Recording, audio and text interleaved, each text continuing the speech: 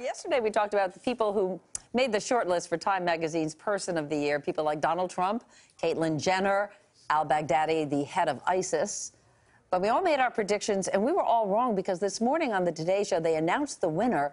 It is German Chancellor Angela Merkel, who won First Female Person of the Year. Yes. First woman selected Person of the Year.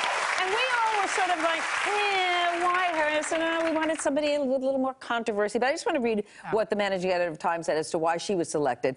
She was selected, quote, for asking more of our country than most politicians would dare, for standing firm against tyranny as well as expedience, and for providing steadfast, and this is the part that I think is so important, moral leadership in a world where it is in short supply. Was So she, she was being heralded as a moral leader. Well, she stepped Positive. up first. Well, it's a positive one. She stepped up first, and we all scratched our heads. And then when you really thought Right. about it, she stepped up for Greece when they needed financial help. She stepped up for the Syrian, you know, uh, people and the migrants who needed to come over. That Uh, come. She That said come. come, She, yes. she, she basically took a page from what we should do as our represented country, what the United we used States. to be known for, Yes. and we're not Anymore. And she took a stand, whether it was, you know, scary or not for her country. She was ballsy, excuse Yeah. me. And I like that, you know, and so she deserves it. Yeah, no, absolutely. I thought she was great.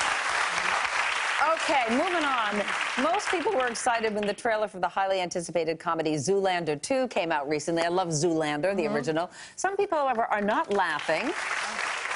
Hold that applause till you see this. The movie features an androgynous model played by the wonderful Benedict Cumberbatch. Mm-hmm. And transgender activists are upset at his portrayal. They think the character is an over the top, cartoonish mockery. Apparently, it's- people are, are very upset. And one of the writers is Justin Theroux, the husband of Jennifer Aniston. He responded to his critics. You know, he sort of said, You hurt my feelings here. You're not seeing the whole movie, you're taking it out of context. This is called irony. It's Welcome satire. to comedy, people. Right. Welcome to comedy. We're talking about uh, androgynous. We're not talking about transgender. in just this little clip, how are you supposed to know what this character is or you know what's going to happen? No, 'cause if you're going to boycott the movie, boycott stuff. it because they didn't reprise my role from Zoolander 1. Oh, you were in what? That's why I boycott. That's right. That's right. Didn't get that call.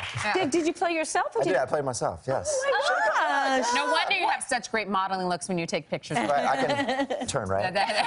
But what were you saying, Yamaneika? You think that people just have to be upset about something? Yeah, everybody, You, people like to be upset and get on a, in a, a bandwagon. I think it's more, you can tell from that clip for me, it's more poking at the modeling industry than somebody's sexuality. I think people need to just loosen up And a little bit. androgynous is a big thing in, in, in modeling right now, and it's it's a it's it's a wonderful thing. It's a positive thing. People are looking for these type of models right now. But I think maybe if you're transgender, and I'm not, so I, I don't mean to speak out of school, but given all that they have gone through in the past and such ridicule, ridicule and hatred and the, and the way they've been treated, maybe they have a right to be sensitive to this. I mean, This is a granted, big they haven't year seen the for whole- them because of yeah, Caitlyn and everything, so maybe they think this is a step back. We should wait and see Let's the see the movie, movie first, and then yeah. judge. Mm-hmm. Yeah.